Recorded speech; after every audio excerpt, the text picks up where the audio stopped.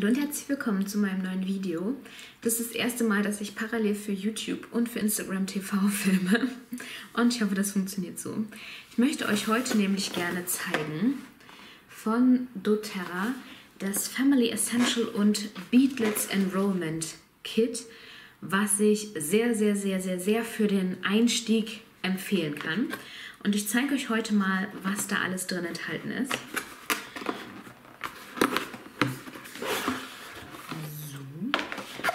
Erstmal ist immer dieses Booklet mit dabei, wo jedes ähm, Öl von doTERRA und auch jede Ölmischung drin ist und wo so ein bisschen beschrieben steht, was die kann und was die so macht.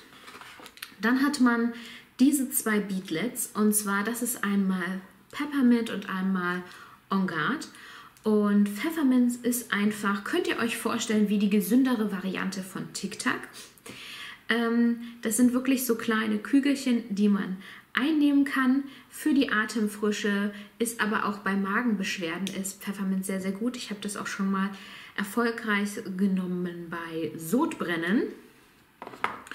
Und On Guard ist einfach so der Klassiker für die Stärkung des Immunsystems. Also On Guard benutzt man, um sein Immunsystem zu stärken und es hat aber auch so eine stimmungsaufhellende Wirkung.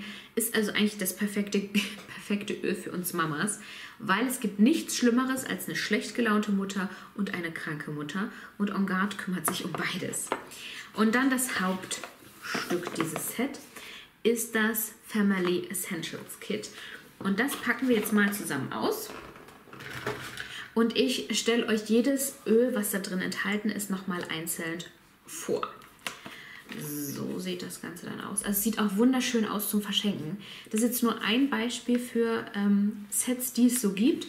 Aber das ist tatsächlich das Set, was ich zum Einstieg für Mamas, für Familien auf jeden Fall empfehlen kann. Es riecht halt auch schon so mega geil, wenn man es einfach nur aufhat. So sieht das Ganze aus. Ähm, das sind die 10 Öle, die da drin enthalten sind, jeweils mit 5 Milliliter. Da kommt ihr auch weit, weit, weit, weit weiter mit. Und ich stelle euch jetzt jedes Öl mal vor und erzähle euch so ein bisschen was dazu. Im Vorfeld noch ein bisschen was anderes. Ich sage auch so ein bisschen was ähm, zur Anwendung, was ich so selber benutze. Das hier ist jetzt mal mein Diffuser. Ähm, da kommt hier unten Wasser rein und dann ein paar Tropfen vom jeweiligen Öl. Und hier oben raus kommt dann der Wasserdampf mit dem Öl. Und das kann sich dann schön in der Luft verteilen und man kann es halt so aufnehmen. Aber man kann die ja noch auf viele andere unterschiedliche Art und Weisen benutzen. Als erstes Öl ist hier drin Lavendel.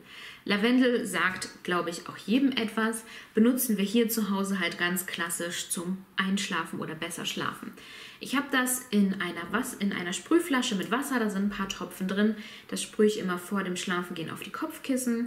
Ich habe es auch schon mit fraktioniertem Kokosöl gemischt in einen Roll-On und den Kindern unten auf die Füße aufgetragen vor dem Schlafengehen zum besseren Schlafen. Aktuell benutze ich da gerade eine andere Mischung, aber da ist auch Lavendel zum Beispiel mit drin. Also ich glaube, zu Lavendel muss ich nicht viel sagen. Dann haben wir drin Lemon, also Zitrone. Das muss ich auch immer da haben. Da benutze ich auch, also das benutze ich sehr, sehr regelmäßig. Und zwar benutze ich das zum einen ins Wasser, weil es unglaublich gut schmeckt. Ähm, aber benutze es natürlich auch so zum Diffusen und auch um, ähm, hier in den Diffuser gibt man manchmal halt auch so Mischung, also eine Mischung aus verschiedenen Ölen und da mische ich auch sehr, sehr gerne was mit Lemon. Und ich würde euch einfach immer mal auch so ein bisschen was aus dem Booklet, was dabei ist, so ein bisschen zu dem Öl vorlesen. Und da suchen wir uns jetzt einmal Lemon raus. Da. Hauptnutzen aufmunternde und energetisierende Eigenschaften zur Förderung einer besseren Stimmung. Deswegen ist es auch für uns Mamas so gut, aber auch für die Kinder. Spritziges Aroma für Speisen und wirkungsvolle Ergänzung für Haushaltsreiniger und Seifen. Also ich putze tatsächlich fast ausschließlich nur noch mit selbstgemachten Haushaltsreinigern, wo auch ätherische Öle drin sind. Da gibt es ein Video auf YouTube dazu. Dann hat man nochmal Pfefferminz als ähm, reines Öl hier mit drin. Und Pfefferminz ist wirklich so eine für die Mundgesundheit. Ähm, für bei, bei Magenbeschwerden kann man es wie gesagt auch nutzen. Was ich auch mache, ich habe Pfefferminz auch in einem Roll-on und trage das sehr, sehr gerne auf, wenn ich einfach so ein bisschen müde bin, wenn ich kaputt bin, einfach um so einen Energieschub zu haben. denn es kräftigt und belebt die Sinne, lindert Magenbeschwerden und unterstützt die Mundgesundheit. Dann haben wir das vierte Öl ist R. Und R wird jetzt richtig, richtig interessant, wenn jetzt wieder diese Schnupfenzeit uns bevorsteht, ähm, weil das einfach was Gutes ist für die Atemwege. Denn es sind dann einfach belebende Dämpfe, kühlt und beruhigt die Haut zum einen und befreit die Atemwege, fördert eine leichte Atmung. Ähm, genau, das ist schon mal sehr, sehr cool. Dann hat man noch drin. Moment, Moment, Moment. Ich versuche die immer gleich hier rauszunehmen. Ich glaube, die Blue ist das nächste.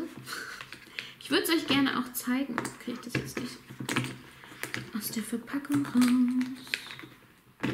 So, egal. Also das nächste, das nächste ist auf jeden Fall die Blue. Ich zeige es euch einfach hier drin. Dann seht ihr auch, wie es aussieht. Also hier, die Blue ist auch enthalten. Und die Blue lindert und kühlt ist die perfekte Mischung für eine wohltuende, lindernde Massage nach einem langen Arbeitstag oder einem intensiven Workout. Hilft Anspannung abzubauen, ruft Gefühle der Entspannung hervor und bietet gezielte Linderung. Also kann man auf den Rücken massieren, kann man in Finger, Handgelenke, Schultern, Nacken massieren, wenn man einen langen Arbeitstag hatte. Kann man bei Wachstumsschmerzen auch den Kindern auf die Beine geben. Also da dann immer wichtig, wenn man es auf die Haut aufträgt, dass man das mit ähm, einem passenden Öl, also zum Beispiel fraktioniertem Kokosöl, mischt. Was dann auch noch drin ist, ist Melaleuca oder auch Teebaumöl. Ich glaube, da muss ich auch nicht viel sagen. Teebaumöl wissen wir alle, dass das sehr gut für unsere Haut ist. Das nächste, was drin ist, ist auch ein sehr, sehr wichtiges Öl und eins, was ich auch sehr empfehle von doTERRA. Es ist Frankincense oder Frankincense. Es ist Weihrauch. Und Weihrauch kommt auch in ganz, ganz vielen ähm, Mischungen vor, die man so machen kann. Ist da immer sehr essentiell. Und aufgrund seiner chemischen Zusammensetzung hat Weihrauchöl bedeutende regenerierende Eigenschaften, die ihm eine große Vielfalt von Anwendungsmöglichkeiten geben. Seit Jahrhunderten wird Weihrauch wegen seiner wohltuenden und verschönernden Eigenschaften verwendet, besonders zur Verjüngung der Haut und zur Förderung der Entspannung. Hauptnutzen hat man hier wieder beruhigt die Haut, reduziert das Erscheinen von Hautunregelmäßigkeiten und fördert, Achtung, jetzt kommt das für mich eigentlich Wichtigste. Haut ist auch wichtig, aber fördert friedliche, entspannende und zufriedene Gefühle des allgemeinen Wohlbefindens. Und ich nutze das sowohl für mich als auch für die Kinder. Manchmal kennt ihr auch, kommen die so heim und sind so von so einem anstrengenden Kindergartentag und dann muss man die erstmal wieder ein bisschen runterfahren und da diffuse ich dann halt sehr gerne zum Beispiel sowas. Dann hat man ein weiteres Öl, jetzt geht es ein bisschen in eine andere Richtung und zwar ist das Oregano. Und auch hier, da bekommt ihr gleich auch mal einen Einblick, was hier dann immer so ein bisschen dazu geschrieben steht, was ihr hier in dem in dem Heftchen immer so ein bisschen findet. Oregano, Hauptnutzen, würziges Kräuteraroma für Speisen, also ätherische Öle kann man auch für Speisen verwenden, bietet antioxidative Vorzüge und gibt der Haut ein wärmendes Gefühl. Also da dann natürlich auch immer ein Trägeröl verwenden. Und wie gesagt, kann man jetzt in der Küche verwenden, kann man auch als Haushaltsreiniger verwenden. Ähm, kann man auch, aha, traditionelles Hühnersuppenrezept, genau. Ähm, genau, ist also vorrangig eigentlich tatsächlich in der, in der Küche vertreten. Dann auch ein sehr, sehr wichtiges, sehr, sehr praktisches, sehr, sehr notwendiges Öl und zwar ist das Zen Guest. Und zu Zen Guest möchte ich euch natürlich auch ein bisschen was erzählen. Da haben wir es.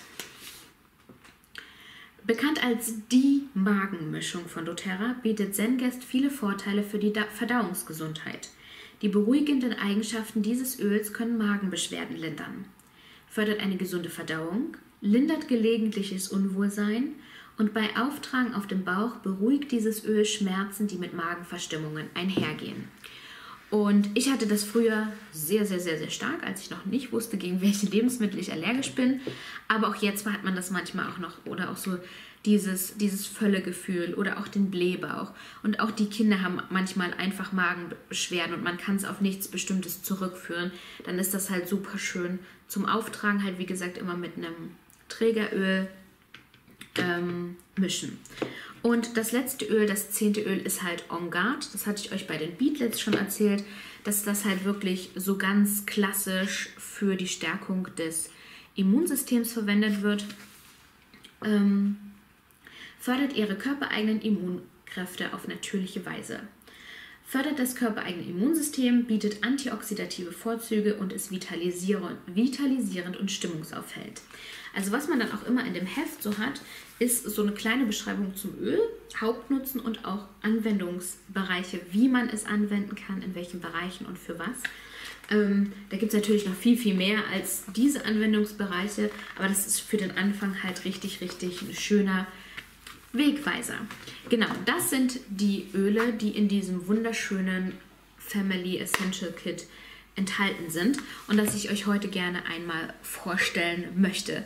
Wenn ihr weitere Fragen habt zu einzelnen Ölen, zum Kit, zum, zu doTERRA an sich, dann könnt ihr mir jetzt sehr, sehr gerne eine Nachricht schreiben auf allen möglichen unterschiedlichen Wegen, da wisst ihr Bescheid. Und ansonsten ähm, stelle ich ja auch auf Instagram immer mal wieder einzelne Öle vor und wie ich die auch benutze. Also folgt mir da sehr, sehr gerne. Ich hoffe, dieses kleine Video hat euch gefallen und wir sehen uns ganz bald wieder beim nächsten Mal. Bis dahin, tschüss!